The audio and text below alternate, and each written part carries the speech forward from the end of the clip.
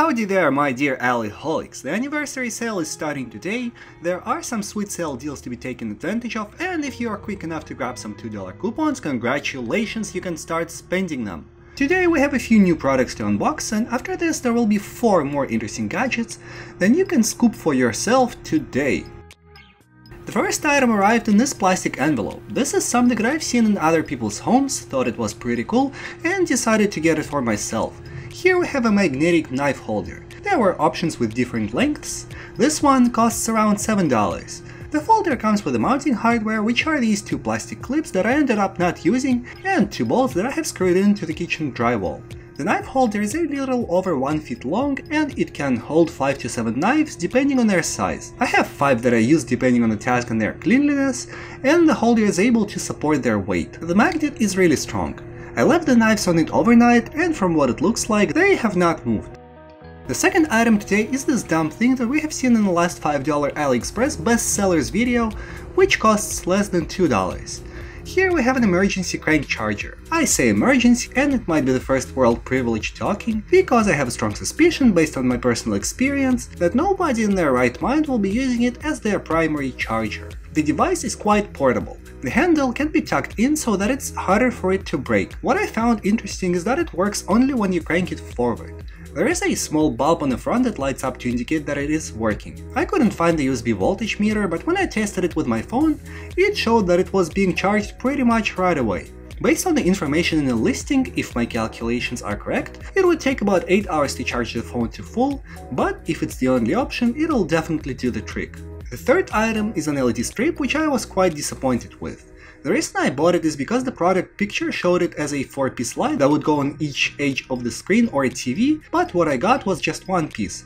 To be fair, the description clearly states that the 1 meter piece, which is what I bought, only comes as one piece, and I should have done more due diligence when buying it. I could have gotten a better deal because 1 meter strips like this usually cost around $3, while I paid around $5 for this one. The strip, however, works fine and I don't think that I will be making a dispute. It is not waterproof and it comes with a remote control that did not have a battery inside. The last item is something that I've been thinking about buying for a while now. I'll shut up for a bit before it's out of the box to create some mystery.